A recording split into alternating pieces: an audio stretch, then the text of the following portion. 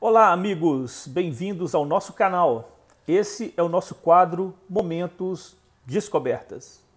Eu sou Thomas Edison, nasci em Ohio, Estados Unidos, em 1974.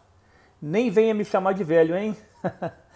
Fiquei muito famoso por algumas invenções, principalmente por criar a lâmpada elétrica, e é sobre ela que vamos falar hoje. Depois de minha invenção, muitos empreendedores melhoraram as lâmpadas. Por isso, hoje existem vários tipos de lâmpadas. É o que iremos ver nesse vídeo. Para que haja luz, é necessário que exista qualquer coisa que emita luz, o que chamamos de fontes luminosas. No caso, podemos chamar de fonte luminosa o Sol, o fogo e até mesmo insetos, como os pirilampos e os vagalumes.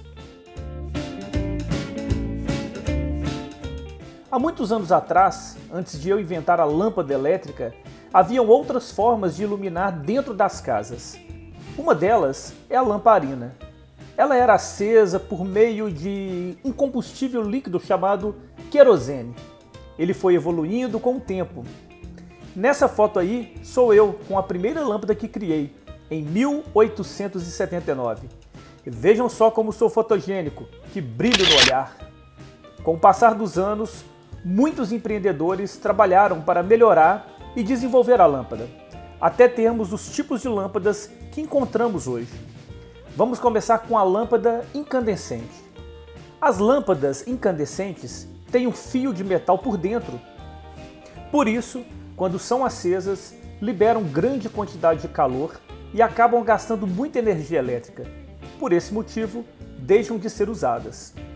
As lâmpadas fluorescentes são feitas com um tubo branco de vidro e tem um reator na base. Nesse tipo de lâmpada, há matérias tóxicas, por isso, ela não pode ser aberta de jeito nenhum.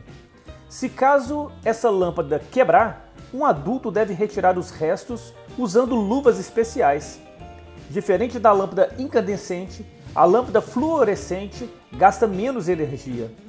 Por fim, as lâmpadas de LED. Elas são feitas de plástico e não têm um reator como as fluorescentes. Por este motivo, são muito mais seguras as lâmpadas de LED também gastam menos energia que as anteriores. Não é porque as lâmpadas de LED gastam menos luz que devemos deixá-las acesas à toa durante o dia. O ideal é usarmos a luz natural, vinda do sol. É super fácil. Basta abrir a janela. Fora que a luz do sol também é muito importante para a nossa saúde, pois gera vitamina D em nosso corpo.